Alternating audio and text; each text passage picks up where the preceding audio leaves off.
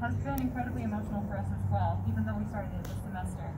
Um, this piece is called Inscription of Hope, the text of which was found um, written by a victim of the Holocaust during the epitome of human despair.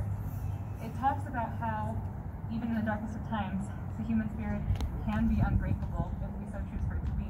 This text really resonated with us because of the experience we've all been having with COVID-19, as I'm sure that you all have everybody's going through this in a different way, and I mean, I've been watching it through the eyes of these kids, and to see all that's been taken away from them this year has broken my heart over and over and over again. And yet, they show up every day, and they make beautiful music, and they support one another, and they continue to do what it is that we live to do.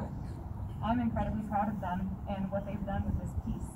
Um, to give you a little context about it, we have Eliana Allen that's going to read for us an excerpt from the composer.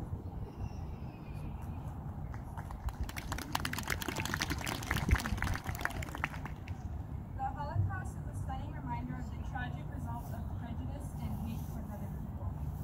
But it is also a reminder that hope held firm will eventually reign victorious over the following words were inscribed in the walls of a cellar